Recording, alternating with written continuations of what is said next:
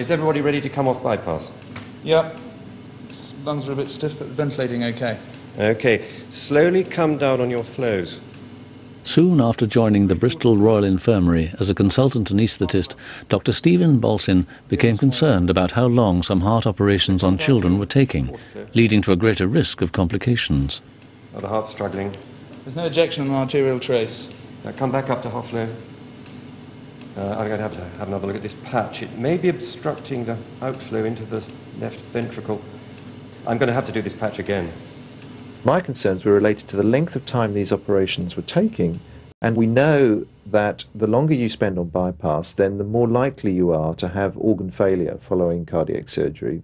And the time that the cross clamp is put on in cardiac surgical operations is the length of time the heart is deprived of oxygen.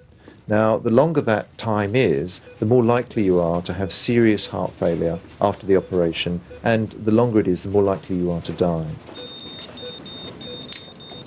Cardiac arrest, can you put out the call, please? On some procedures, the failure rate at Bristol was three times the national average. The standard of Bristol's child heart surgery was to become the subject of the longest disciplinary hearings ever held by the General Medical Council. Okay, airway's clear. Adrenaline, please, nurse. The hearings exposed a tragedy which has raised questions about doctors' accountability and sent shockwaves through the medical profession. No. No. This film examines the litany of management failures, from the hospital right up to the Department of Health, which allowed known problems to go unchecked for five years.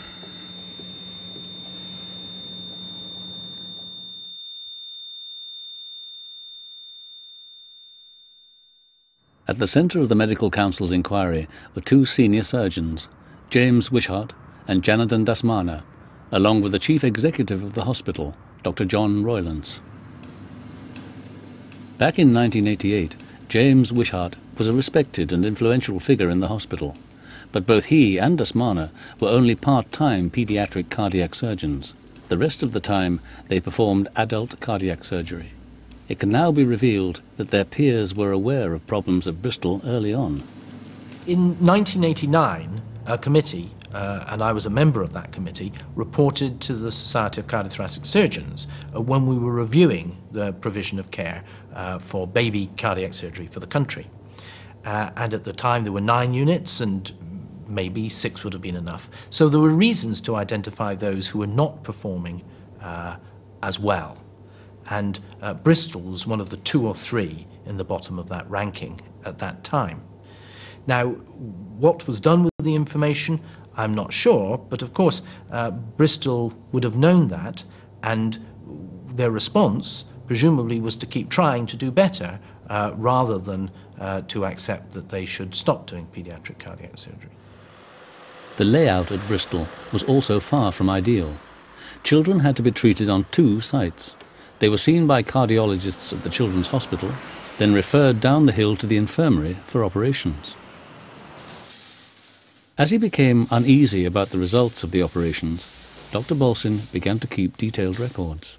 I wasn't initially at all critical of what was happening in the unit. It was only as the picture emerged that these were fairly routine operations that were not getting the routine outcomes that they should have done that my concerns were really aroused.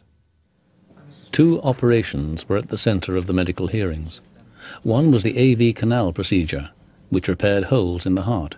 The other was the switch, which corrected a defect where babies were born with their arteries the wrong way round. AV canals were done by both Janardhan Dasmana and James Wishart, whereas the switches were only done by Dasmana. Bolsin's anxieties grew when he read the hospital's application for trust status, which he felt glossed over the problems. He wrote to the chief executive to be, Dr. John Roylance, ending his letter by pointing out the mortality rate for open heart surgery on infants under one year. This, as you may or may not know, is one of the highest in the country, and the problem should be addressed. There's a phone call for you. Bolsin got a response, but not the one he'd wanted. His letter seems to have been treated by Dr. Roylance as part of internal hospital politics. Hello, Bolsin. I've received your letter, and I can tell you that the matters you've raised are not relevant to our application for trust status. Right. Thank you. Bolsin repeatedly faced a problem. The person he was complaining about was the same person he was expected to complain to. James Wishart held a succession of senior posts in the hospital, and he now summoned Bolsin to see him. Mr. Wishart was very cross. He used clipped and terse phrases to describe uh, what I had done as being not good for my career in Bristol. This is not the way I was to proceed. I was left in no doubt that my career in Bristol was in jeopardy if I carried on in this way. It's one of the reasons that I never took results back to him again. Bolsin did eventually raise some of his concerns at one of the ad hoc meetings of the cardiac team. Right, I think that my figures show that the problem's not as serious as some people on the unit might have thought. Well, all I can say is that I've seen Chris Lincoln at the Brompton do these procedures. Our outcomes are a lot worse. We're taking a lot longer. Our cross-clamp times are a lot longer. This could be the reason why we're seeing the problems here. There have been improvements recently in our operative and post-operative management of these patients, and I feel sure that we will emerge overall as one of the finest centres in the country for paediatric cardiac surgery. But Mr. Dasmana was dogged by problems that were later to be described as his learning curve. Having started the switch operations in 1988, seven of his 14 child patients had died by January 92, 50%. The Medical Council heard that anything approaching 20% should have given cause for concern. Steve Bolsin eventually began to collect data to try and prove his belief that babies were dying unnecessarily. He was helped by Dr. Andy Black, who was also a statistician. Ah, I've got another AV canal. Uh, what's the extubation time? I'm looking for that. Well, it's been in intensive care for two weeks anyway. They produced a report which showed that in some procedures Bristol's performance compared badly with the national average. Mr. Wishart's results with the AV canal operation appeared particularly poor. Bolsin took his report to the clinical director of cardiac services. The unit has a problem that I think you should know about. Yes? Yes, um, Andy Black and I have done an audit of some of the procedures in paediatric open heart surgery. The results aren't very good, I'm afraid. Yeah. Um, if I can just show you. Um, over here we have the results from the National Cardiac Register, and in this column are ours. As you can see, our mortality on the AV canal isn't very good. We've also looked at cross-clamp times, extubation times, and the length of stay in ITU. Um, they don't compare very well, I'm afraid. Well, they're interesting figures, Steve, but I have yet to be convinced. These VSD figures, for instance, that's a very surprising result. I wouldn't have thought there'd be a problem with VSDs these days. Bolsin later discovered that he had made a mistake with one procedure, the VSD. Overall, however, the medical hearings vindicated his report. Gentlemen, He took his results to other colleagues, including John Farndon, Professor of Surgery. Professor Farndon told Bolsin that he needed to obtain data that was agreed by all the doctors involved. He later said to the hearings that he did not recall passing on Bolsin's concerns to anyone in authority. Ah, James, how nice to see you. Anything in particular, or is this a social call? Well, I am a bit concerned. I understand there are some figures doing the rounds about paediatric cardiac surgery. Steve Bolsin's been collecting data, I believe. Yes, he did come in here with some figures. Well, I've come in to set the record straight. I've pulled out some figures of my own. Now, if you look at this figure over here, it does look unsatisfactory. But look at these operations over this time frame, and you can see that the mortality is actually extremely low overall. Mm, yes. It is now clear that no systematic audit of results was taking place in the paediatric cardiac unit. There were meetings of consultants, some held in the homes of senior members, where various problems were discussed, but these were far from ideal. It wasn't an easy forum to be critical either personally or corporately of what was going on. It's very difficult to criticize somebody when you're sitting in their in their lounge drinking their wine and eating their biscuits. In 1992, there was an attempt by a cardiologist, Dr. Rob Martin, to establish regular audit meetings. But when Private Eye ran a series of articles containing leaked data about the hospital, the meetings were stopped. The hearings were told that the consultants feared further leaks if they continued. It was also revealed that the cardiac surgeons had failed to submit any returns to the Hospital Audit Committee in 1992 and 93. This coincided with a run of failures for Mr. Wishart. By the end of 93, seven of the 13 AV canal operations he had performed since 1990 had ended in death, a mortality rate of 54%. The hearings were told that the average mortality for this operation was probably 20%. We recognise that surgeons need to have a high level of determination. Uh, and when determination becomes stubbornness and doggedness, of course, is a grey zone. Uh, personally, and I know speaking also for some of my colleagues, we know we could not have continued knowing uh, what is available elsewhere in the country and that those patients could have gone elsewhere with that level of mortality. By this time, Dr. Bolsin had gained a powerful ally in Gianni Angelini, a colourful Italian who had arrived at Bristol as Professor of Cardiac Surgery. Having seen Bolsin's report, Angelini says that he tried on a number of occasions to discuss the problems with Mr. Wishart. The relation with Mr. Wishart were very cordial, certainly more from his side than mine, because I would be pretty straight to the point. I, I wouldn't beat much around the bush. I would just say, I don't like this result, these results are bad. And he wouldn't budge. He would just trying to convince me that I was in the wrong. Professor Angelini eventually took the matter up with the hospital's chief executive, Dr. Roylance. These figures show we have a serious problem in this hospital. Look, Gianni, if there is a problem, it's a clinical problem. So it's a problem for the clinicians to sort out. But it is the surgeons who are the problem. How can they sort it out? Well, these judgments really do have to be made within the field of competent clinicians. I'm outside that field, and so, with due respect, are you. I mean, just think about it. I'm in charge of nine hospitals. They all have a great many specialities. It would be wrong for me to tell the experts what to do. Relations between surgeons and some of the anaesthetists were now highly tense. Yet, despite numerous opportunities, the problems were not openly discussed. I think we have a situation in which the surgeons doing the operations were not really as good as were available elsewhere in the country. They'd also got into a practice of working in a provincial city where they, I think, slightly drew up the drawbridge.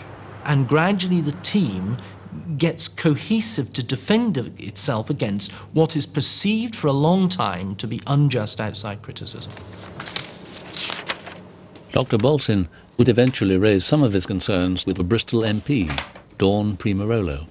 She later tried to get a response from the Department of Health. I raised a detailed number of questions. I consider the responses, particularly from the Department of Health and Dr. Roylance, to be inadequate.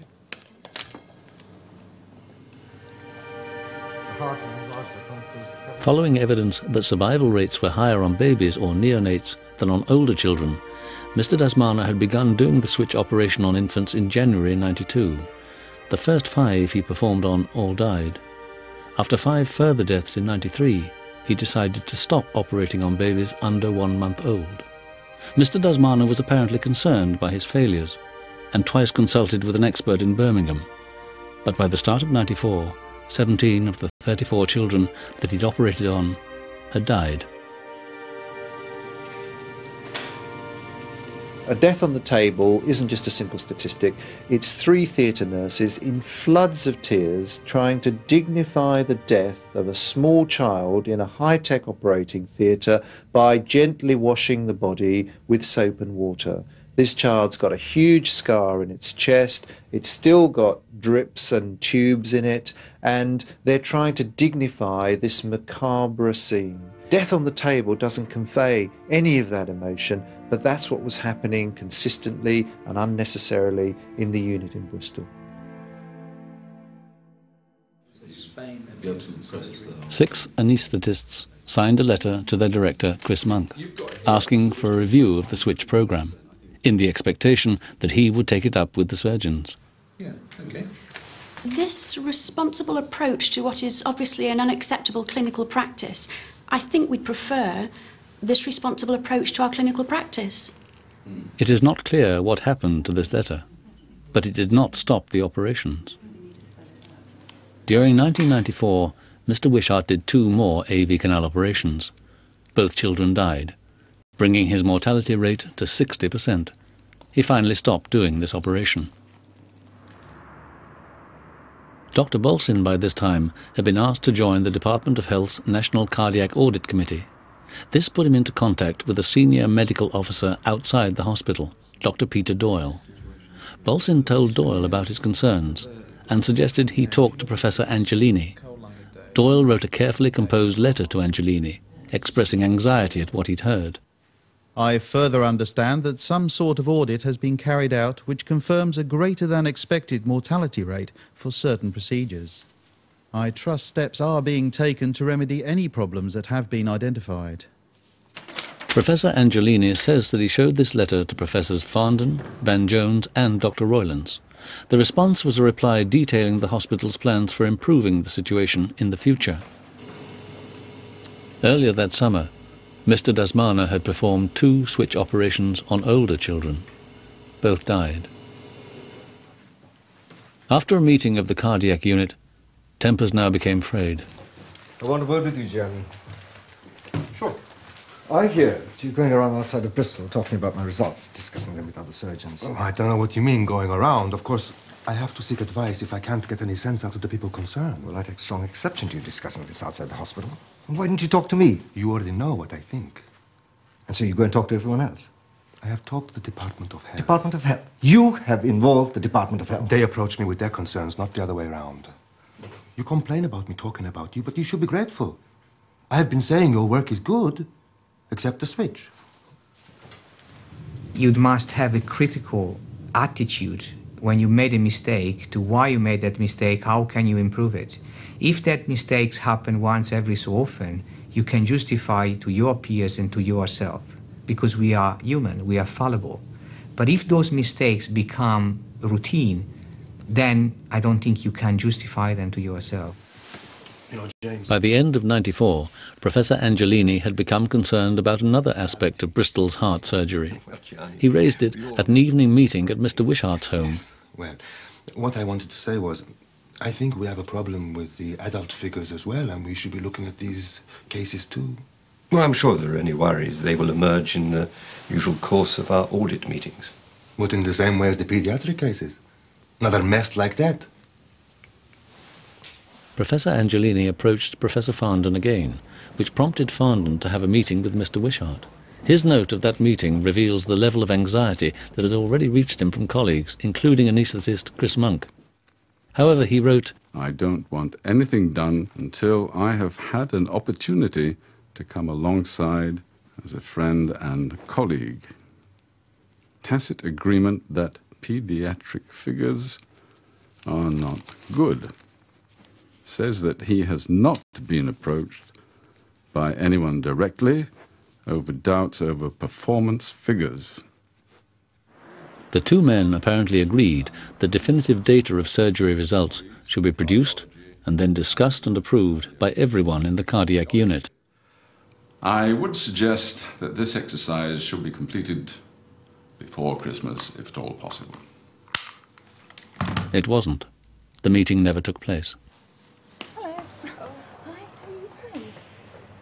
Six months earlier, one year old Joshua Loveday had been referred to Mr. Dasmana, who had recommended that he have the switch procedure in the next few months. The operation was eventually scheduled for January the 12th. They're going to do another switch. With Dasmana? When? On the 12th. And Pawade doesn't arrive until May. Why don't they send the child to Birmingham? You know, we've got to do something about this.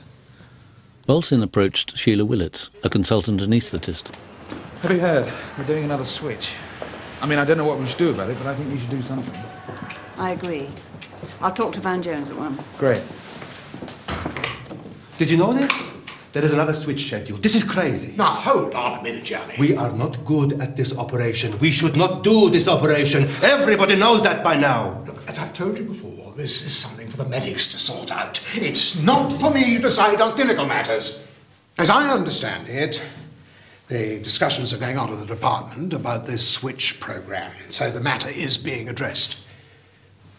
Now, as you know, we'll have the new paediatric cardiac surgeon here soon. You should feel reassured with that. And the plans to go to the Children's Hospital. John, can I have a word? Did you know there's another switch planned? No. Yes, for the 12th. I really think it's most unwise under the circumstances. Don't you think we should exercise our option, and send him to Birmingham? He's had previous surgery, so it's an increased risk, and with all the tension around in the hospital at the moment, it would be a very bad time to do it. Well, I think we ought to see what the cardiologist says. Who is it? It's Rob Martin, I believe. I'll give him a call. James, this switch on Thursday, you should stop this operation. I'm coming to you as medical director now. Oh, the child needs the operation. We've taken all factors into account. It can't be that urgent. This is an elective case. It's been waiting for months. The child is not a neonate. We have discussed these outcomes, and they indicate that we have no problems with non neonates. Sheila Willatts also called Mr. Wishart. It's Sheila. Look, I'm sorry to come to you like this, but I really am very concerned. There's an increased risk with this child wherever the operation is performed, and given the situation here, I think it's very unwise to go ahead. Yep, I don't see why. Why can't we send him to Birmingham? That arrangement's been in place for some time. She spent nearly an hour on the phone, but failed to get the operation postponed. Steve Bolsin contacted Dr. Doyle at the Department of Health. Ah, Peter, they're going to do another switch. Yes? Dr. Doyle rang Dr. Roylance Ah, hello, Peter. and warned him of the risks of proceeding with the operation. Roylance told him that he would abide by the decision of the medical director. Because of the mounting criticism, James Wishart, as medical director, had called an unprecedented 11th hour meeting of the cardiac surgical teams to decide whether the operation should go ahead the following day. Well, as you see, of the 13 neonates operated upon, nine died. Consequently, we stopped the neonate program last year. In respect of the non-neonates, 24 patients have been operated on since 1988, and there were eight hospital deaths, but five of those were in the first two years. Since then, there have been three deaths out of 15. Well, I think we're all in agreement as to what the correct figures are. Uh, What we have to decide now is whether it's appropriate to perform this procedure with this patient. I think this particular set of figures are okay if you're dividing the cases between non neonates and neonates. This is an institutional problem. It is not possible to be confident that we can do this operation. But you've seen the figures for non neonates, and this patient is well over one year. You agree that the figures are acceptable. Well, if you put it that way, I can't argue. But there is another factor. The Department of Health are aware of this. Think about the consequences for the hospital if something goes wrong tomorrow. Have you been talking to the Department of Health? I frequently speak to the Department of Health regarding my audit activities. You know what I mean. Have you been talking to them about this? Have you taken this outside the hospital? Well, Peter Doyle knows about it, yes. So, what exactly is your connection with the Department of Health? Well, I thought it was quite well known that I've been appointed to conduct a national audit of adult cardiac surgery. Well, that's. Uh... The meeting found no reason to stop the operation. Only Steve Bolsin disagreed. Afterwards, Mr. Wishart took Mr. Dasmana and Dr. Martin aside. We've got a loose cannon here. Would it be politic to postpone the operation? Well, Joshua's getting blue. It couldn't be postponed for long. He's been waiting for six months. I don't think we should be influenced by politics. Well, the prognosis will get worse if we wait. And he has a PA band. It will make the sinuses worse as time goes on. But are you still happy to do it, Janardhan? Eating was rather unpleasant. You don't think the stress might affect you? No, no, I don't think so. I can do it. While the arguments raged about her son's operation, Amanda Evans was tucking him into bed at the hospital. She and her partner then left to spend the night in the flat that the hospital kept for parents. But at 11 o'clock, they were asked to come back by Mr. Dasmana. He did not mention the meeting he'd just come from. Instead, he went through the operation that Joshua was to have and asked them to sign a consent form. Have you seen Joshua? Yes, yes. Is he okay? Yes, he's fine. Yeah.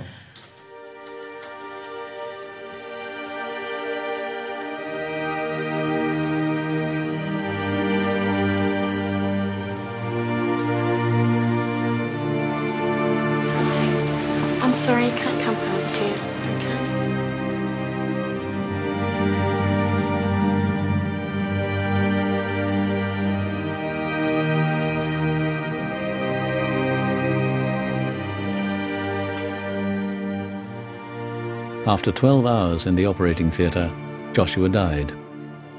The hearings were told that during the operation, Joshua's main coronary artery was damaged, but that this could have happened in the best of hands.